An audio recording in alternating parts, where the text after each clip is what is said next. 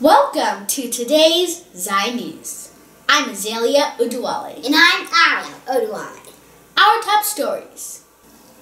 We have part one of our exclusive video featuring Zuriel Oduwole interviewing Nigeria's president, Muhammadu Buhari. First, we have breaking news.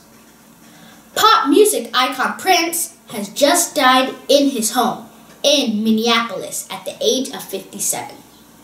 He was known for songs such as Purple Rain and has won the Grammys and the Oscars.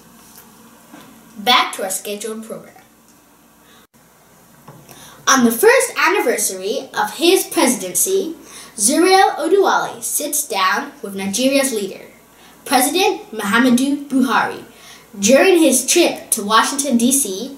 for the World Nuclear Summit with President Barack Obama. Here's what he had to say.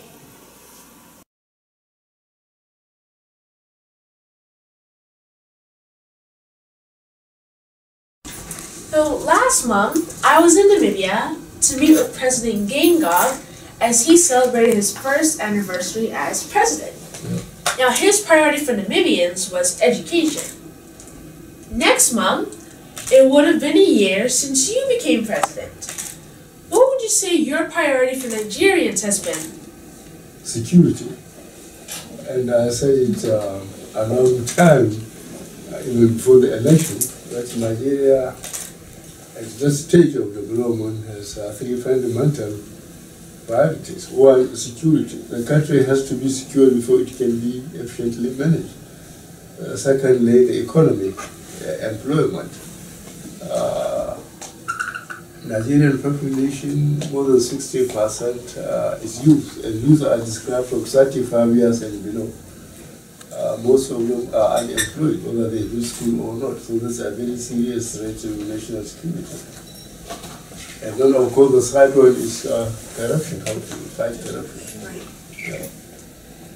Now, in the last many months, on the news about Nigeria, the most topic has been on corruption and how your government is trying to fight the corruption. How successful will you say this fight has been?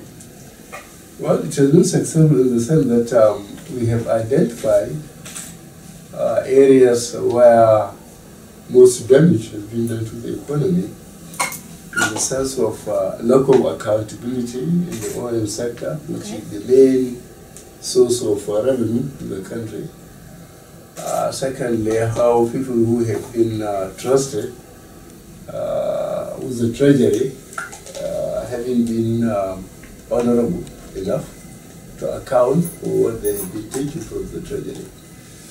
I think Nigerians have seen that clearly by the amount of money is recovered and uh, the number of people that are now uh, under lock and key until they account for what they have taken. So uh, I think um, under the system, uh, the one year has been uh, a very busy one in terms of recovering Nigeria's um, uh, misplaced resources due to lack of accountability.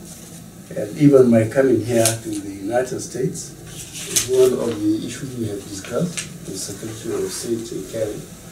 And uh, we received very positive uh, signs from the United States government that uh, the United States government will cooperate those Nigerians who have uh, launched a lot of money that cannot be properly accounted for. Uh, will, it will be uh, returned to Nigeria. On ZAAI News, we'll be featuring part two of the Muhammadu Buhari interview with Zuriel Oduwole. Thanks for watching.